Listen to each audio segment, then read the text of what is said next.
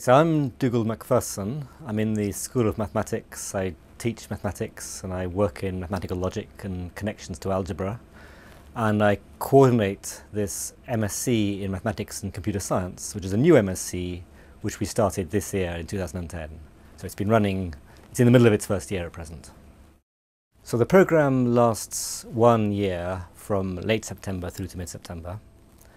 And the academic requirements it's the equivalent of a UK BSc at 2-1 or first class standard. So an equivalent um, comparing different systems in different countries. Uh, the BSc would really need to have a significant amount of mathematics in it, sufficient to be able to do some MSc level mathematics modules. There's also an English language qualification at, uh, for example, IELTS at level 6.5 or around that. the focus of this course, it's interdisciplinary, so it involves both mathematics and computer science. Um, a key feature is the 60 credit, so that's a third of the whole programme, dissertation in the summer. So for the period June, July, August, you do a, a dissertation or project which can be either in mathematics or in computer science with supervision, with one or more supervisors for that period. So that's the, um, the dissertation. For the rest of the programme, it's a collection of taught modules, or taught, taught, taught courses, done in either mathematics or in computer science.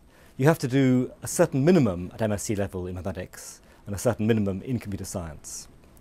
I think the particular focus, there are two main themes running, th running through the programme. So one is around algorithms and complexity, and the other is around numerical methods. The, the, the particularly benefits students interested in following one of those, one of those themes. So around algorithms and complexity, in mathematics there are modules in discrete mathematics, graph theory, combinatorics, coding theory, a couple of modules in logic, uh, there's one in philosophy of mathematics that could be relevant, possibly. Um, things in number theory, things like that. In computer science, there are there are program there are modules in complexity theory, algorithms, uh, uh, artificial intelligence, things of that sort. Now, that, so that's one theme. The second theme is numerical methods, which is much more applied mathematics and its links to computer science. So in mathematics, there are uh, things like numerical methods, nonlinear dynamics, so modules like that. In computer science, various modules on parallel computing, scientific computation, that, things of that sort.